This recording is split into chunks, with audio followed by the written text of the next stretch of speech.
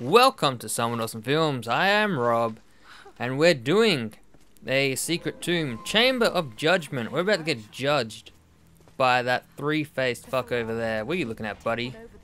Calm down. Uh, oh no, he's a peaceful dude. He's he's chilling out. He's alright. I take it back. You can you can look at me, weirdo. Now, who lit these fires? Seriously, who goes around lighting these little torches everywhere? I I would I would enjoy that job. That'd be an easy job. Uh, anyway, what we're going to do, we're going to pick up these usual yellow chaps here, and we're going to drop them in this thing. This thing will hold them nice and safe. That's one. We need to get four, maybe. There's, yeah, four. Jump on this one, rip down, kablamo. Pick it up, run over here, or chuck it. Doesn't matter. Um, let's go around. Go around this little pod racer engine thing here. Drop it down there. And then we're going to pull this thing. And it's going to swing and smash this one down. Kablamo. And then uh, you're going to pick that one up. And put it on the uh, on the shelf thingy. Where it belongs. Up here.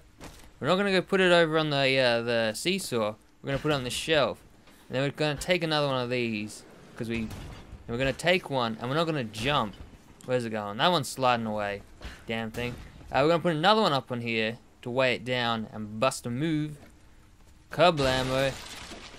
Then, take them all, put them on here, and your seesaw will stay nice and level so you can run across it and jump. Or you can mess it up. Come on, Lara. Pick up your game, girl. Jump, pickaxe, climb the wall, and that's it. These tombs are really short, you'll notice. These aren't like Assassin's Creed tombs. These are these are like Tomb Raider tombs. There's no I I don't know. I I couldn't think of any short tombs besides Tomb Raider tombs. Uh, but there we go. Open the chest. Nice red candles everywhere. Someone's having a nice date tonight, probably. Probably, uh, there's probably a wedding ring in this chest, and it's a surprise for someone's girl. And Lara comes along and is like, ooh, pretty, and takes it. Someone clearly set this up for a date. What a bitch.